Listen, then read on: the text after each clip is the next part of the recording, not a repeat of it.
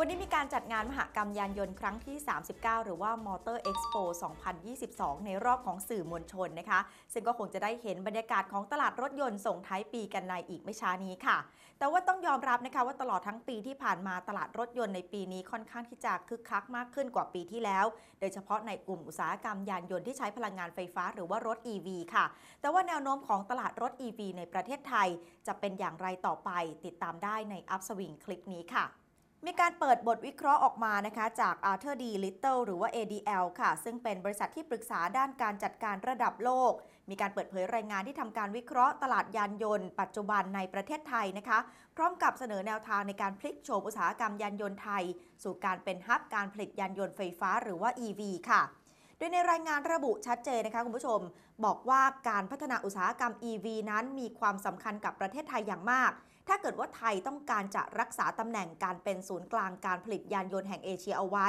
แล้วก็ดึงเม็ดเงินการลงทุนโดยตรงจากต่างประเทศ เพราะว่าปัจจุบันค่ะ ทั่วโลกนั้นกำลังให้ความสนใจกับเทรนด์การลงทุนที่คำนึงถึงสิ่งแวดล้อม สังคมแล้วก็ธรรมาภิบาล ซึ่งขับเคลื่อนโดยเป้าหมายในการมุ่งสู่ความเป็นกลางทางคาร์บอน และการผลิต EV ของตลาดทั่วโลกที่มาแข่งขันกับประเทศตลาดเกิดใหม่ อย่างเช่นประเทศอื่น ๆ ในอาเซียนนะคะ กลุ่มประเทศอเมริกาเหนือแล้วก็ตะวันออกกลางค่ะ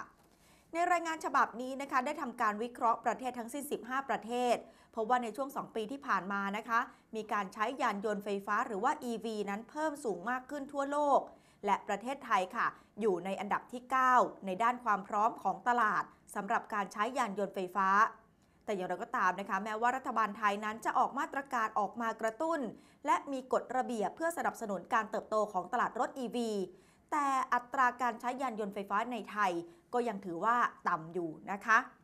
ADL ได้ระบุความท้าทายหลัก 5 ประการนะคะในการเปลี่ยนผ่านสู่การใช้ยานยนต์ไฟฟ้า จะมีอะไรบ้างไปดูกันนะคะ อันดับที่ 1 ค่ะก็คือการเปลี่ยนผ่านที่เป็นไปได้ของไทย ในการใช้พลังงานหลายรูปแบบ และการเปลี่ยนฐานของซัพพลายเออร์ชิ้นส่วนยานยนต์ค่ะ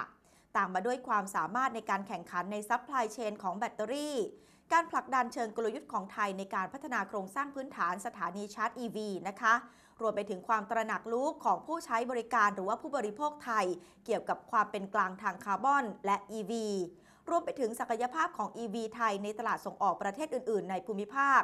ที่มีศักยภาพสูงในการผลิตยานยนต์ อย่างเช่นอินโดนีเซียนะคะที่สามารถเข้าถึงทรัพยากรหลักอย่างนิกเกิล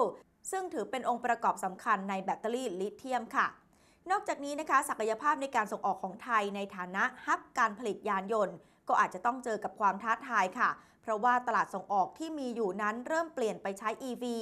จาก OEM หรือว่าจ้างผลิตนะคะ แล้วก็แบรนด์ท้องถิ่นในประเทศของตัวเองค่ะ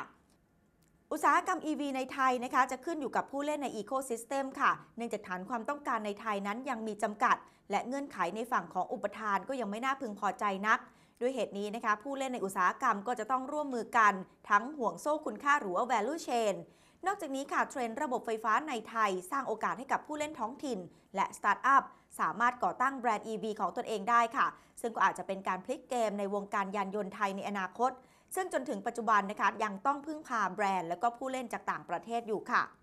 แต่ว่าอย่างไรก็ตามนะคะ จากสถานการณ์ตลาดในปัจจุบันค่ะ แล้วก็ความเคลื่อนไหวที่คาดว่าจะเกิดขึ้นในอนาคต ทาง ADL เชื่อว่ามีความเป็นไปได้สูงนะคะ ที่ประเทศไทยจะพลาดเป้าการขยายยานยนต์ EV ที่เคยตั้งไว้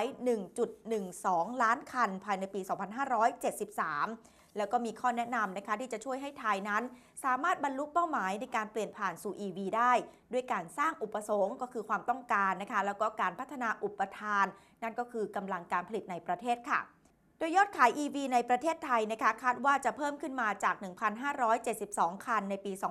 2563 ซึ่งก็คือ 2 ปีที่แล้วนะคะ เป็นประมาณ 831,161 คันในปี 2573 ซึ่งก็คืออีก 8 ปีข้างหน้านะคะ สูงขึ้นถึง 529 เท่า ก็คาดว่าอัตราการใช้รถ EV ภายในปี 2573 จะอยู่ที่ประมาณ 61,000 คันสำหรับรถยนต์และรถกระบะนะคะ 763,000 คันสำหรับรถไฟฟ้า 2 ล้อ และ 7,000 คันสำหรับรถบัสและรถบรรทุกค่ะ ในรายงานยังระบุด้วยนะคะว่าไทยนั้นจะบรรลุเป้าหมายที่ตั้งเอาไว้สำหรับรถ 2 ล้อ แต่จะไม่บรรลุเป้าหมายสำหรับรถยนต์ รถกระบะ รถบัส แล้วก็รถบรรทุกค่ะ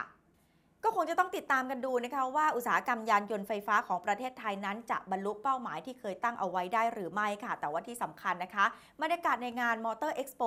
2022 นี้ก็คงจะทำให้เราได้เห็นค่ะว่า ความนิยมในยานยนต์ไฟฟ้าของคนไทยมีมากขึ้นมากน้อยแค่ไหนค่ะ และทั้งหมดนี้นะคะก็คืออัพสวิงในช่วงเช้าวันนี้ คุณผู้ชมสามารถติดตามรายการของเราได้นะคะผ่านช่องทางโซเชียลมีเดียต่างๆของ3 plus news สำหรับวันนี้แอนชมพนุษย์พัทรกจีลาคุณผู้ชมไปก่อนค่ะ พบกันใหม่วันพรุ่งนี้ สวัสดีค่ะ